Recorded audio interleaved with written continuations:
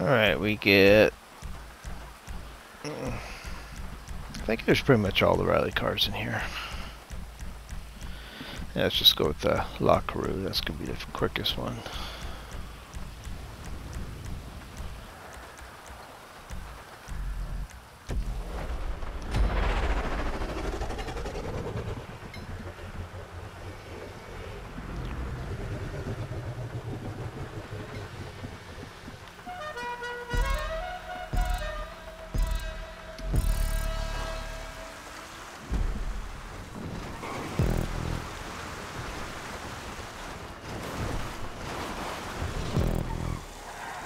I got a little bit off course there.